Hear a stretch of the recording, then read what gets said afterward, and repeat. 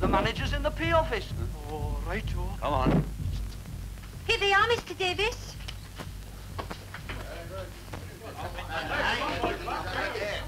What have you been up to? Silence!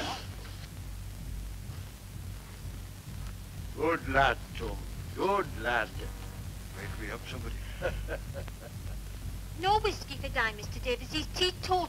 But this is a very special occasion, Bronwyn. Mr. Davis!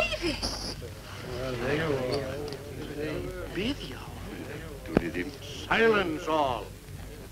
Boys, you don't know it. But today we are famous. Famous from Land's End to John O'Groats. Up there in London, the hub of the universe. What are the newsboys shouting this January evening? Avod you've ben creibws am archo coch.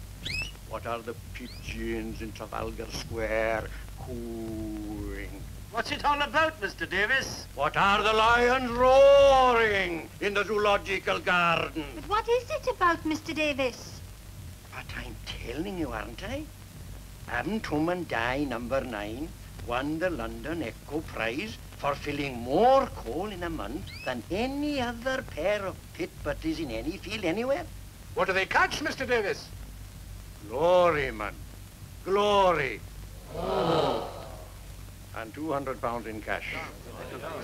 And on top of that, the best seats in the stand for the international rugby football match between Wales and England at Twickenham. Twickenham, that's tomorrow. Has the club coach gone? Ah, it'll be gone now. There's the train, though. Not much time for the old train either. Oh, come on, boys, we'll all get the man.